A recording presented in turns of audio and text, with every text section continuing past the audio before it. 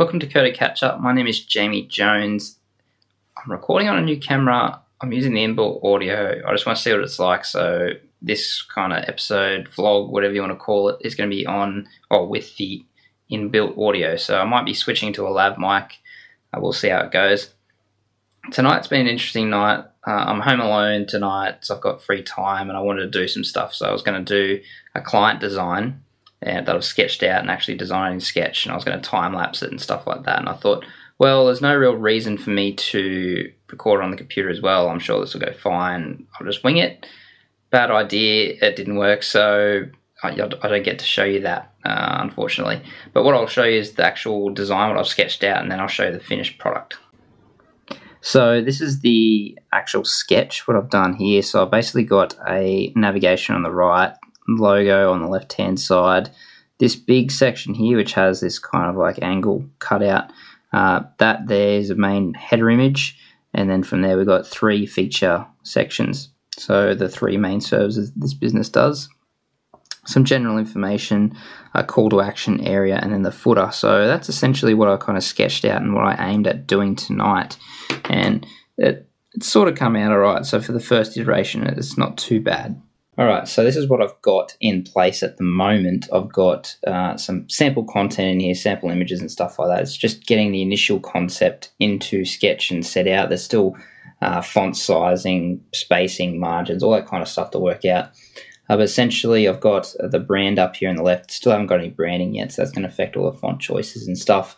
Uh, I've got their contact number, which need to be really prominent. They actually wanted it more prominent than anything else. So I'm still playing around with getting that sizing right, but needs to be a little bit more prominent than the actual navigation, I think. Uh, at least that's what the client is after, so I'm trying that. This is the like kind of intro text section on this large image. You see we've got this slant on the image just to break it up and not be so uh, not so flat and straight, uh, as well as it kind of leads you through these feature images here as well. So this is the main core service, services, uh, decking, patios, carports, uh, and then below that I've got like a quote section, uh, which there's some nice quotes that, that he's got there for the business. Then we've got like just some overview information. Again, see, I have no content for this yet. They're still getting all that together, and I usually don't like designing a site without content. But in this regard, we're, we're going with that for now, and then we'll adjust the site based on the content from there. Uh, and then our call to action here, which I'm missing a phone number. Again, the client really wants to push the focus on getting a call. And I'm trying to keep it like an in between area. So we'll see, or probably more call to actions to call uh, throughout the homepage. This is just a really rough first iteration.